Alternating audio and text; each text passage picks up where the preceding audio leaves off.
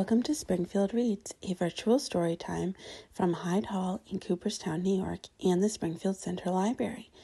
Today we are reading about Thanksgiving and the time period in which the first pilgrims lived. Our reader today is Gail Buell, who is lo- a local accountant. She will be reading Sarah Morton's Day, A Day in the Life of a Pilgrim Girl by Kate Waters. We hope you enjoy this story. About a little girl who lives a long time ago and what her day would have been like. Yes, Oliver. Can we please close those? Sure. This is called Sarah Morton's Day, and it's a day in the life of a pilgrim girl. Got it, got it. It's by Kate Waters, and the photographs are by Russ Kendall. Yes, Micah? This is my village, and it is called Plimoth Plantation. This is Sarah talking. She's telling us a story of her day. At sunup, when the cockerel crows, I must get up and be about my chores. I put on my overgarments. I have a petticoat, stockings, garters, another petticoat, another part of the petticoat, a waistcoat, a coif, which is up in her hair to hold that up, an apron, a pocket to carry things, and some shoes. And I roll my bedding into the corner. So this is how she starts her day every day. The fire is mine to tend. I throw brush on the red coals to make them dance. Mother and I make a hasty pudding.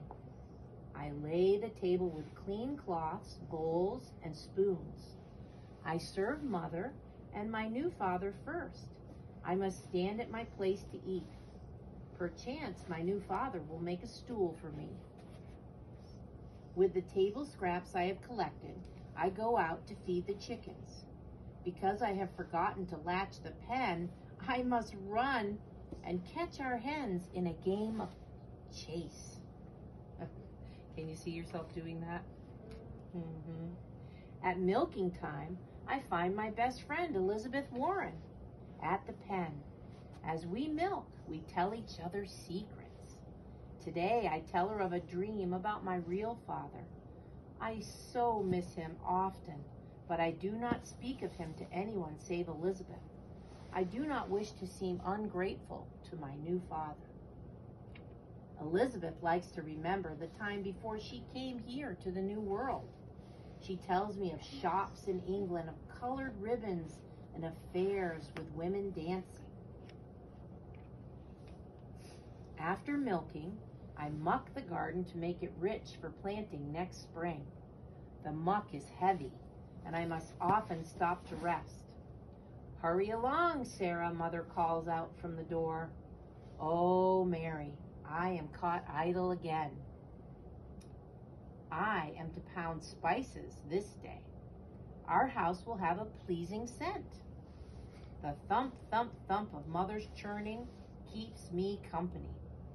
I wish I could tell mother about my dream, but she is quiet today, and I have often enough gotten the rod for speaking out of turn. Next, mother and I prepare the midday meal. This is a little recipe here that tells you how they make 17th century Indian cornbread. That means that this day in Sarah's life is sometime in the 1600s. That's over 400 years ago. Can you imagine? When my new father comes home for dinner, he seems pleased with the rich pottage and warm Indian cornbread that we have made. After dinner, it's time for my favorite task. I draw vinegar to polish the brass. I am patient and I rub the salt and vinegar slowly. The kettle will truly shine. All of a sudden, I hear a warning shot from the meeting house on the hill. It means that a ship has been sighted. Perchance we will have some visitors on tomorrow's tide.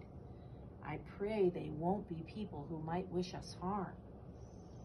Mother says I may fetch Elizabeth, so I run to the top of the hill to see the ship, but it is still just a tiny speck at sea. I dare not wait to see more. It is time now for my lessons. My new father thinks I show a great talent for learning. I am thankful, for in many families, girls are not spared from their chores for lessons. My fingers seem clumsy around the chalk, but it gets easier as I practice. Someday I may be able to read Mother the letters she gets from her relations in England. Micah, can you come a little closer? Thank you. After the lesson, Elizabeth is waiting for me. I show her my new father's gift. He has made me a knicker box. Elizabeth and I take turns shooting. Today, my marbles go through the arches more slowly. Hers bounce back to her. I am winning, but the sun is beginning to lower, and I must get back to my chores at home. I feed the fire to heat the pottage again and milk the goats once more. See the milk going into the pail from the goat's udder? The big brown goat is troublesome. The more I push and milk, the more she kicks. I will have a mark to show from her tomorrow. She's going to have a bruise, isn't she, from getting kicked? Ouch. As I return from milking, my new father is coming home. He has news of the ship. It carries visitors from our village way back at home. There is so much to talk about where to lodge them and how to portion out the stores that we have. After we have eaten, my new father quizzes me on my verses. I have been learning this one by heart since last Sabbath. It has many words to turn my tongue into a knot. It's from Psalm 100 in the Bible.